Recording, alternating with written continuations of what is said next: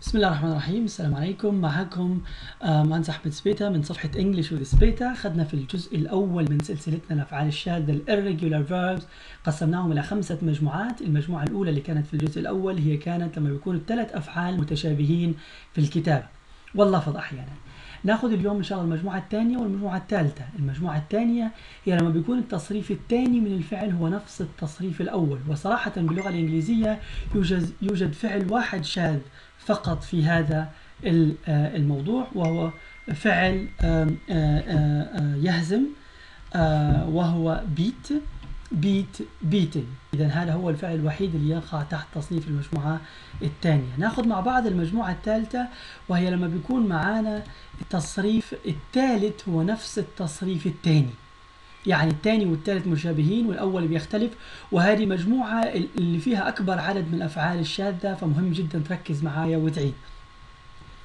Fight fought fought يقاتل. Find fo- found found يجد.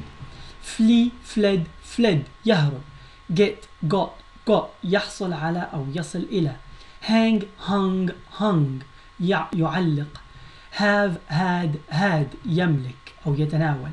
hear heard heard ضروري جدا تعرف كيف تلفظ heard hold held held يمسك keep kept kept يبقى أو يحتفظ kneel الكي لا يلفظ kneel knelt knelt lay laid laid lead led led نكمل مع بعض sit sat sat sleep slept slept slide sled sled spend spent spent stand stood stood stick stuck stuck sting stung stung.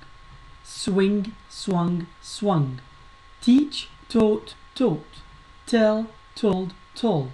Think thought thought. Win won won. Bring brought brought. Belt belt belt. Buy bought bought catch caught caught creep crept crept. Deal dealt dealt. Feed fed fed. Feel felt felt. Leave left left. Lend lent lent. Lose lost lost.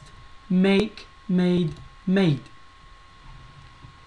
Mean meant meant.